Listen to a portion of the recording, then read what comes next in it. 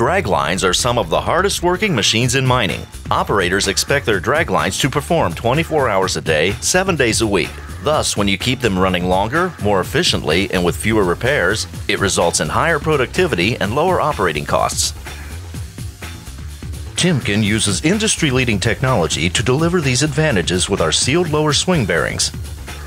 Timken sealed lower swing bearings feature enhanced solutions that are designed for longer service life over existing products. Integrated seals help to keep debris out and lubrication in, providing superior sealing over traditional labyrinth designs. Timken sealed lower swing bearings utilize enhanced seals for improved grease retention and contaminant exclusion.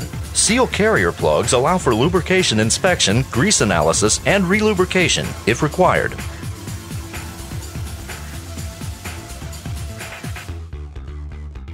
The sealed lower swing bearing has an integrated design for durability and easy installation.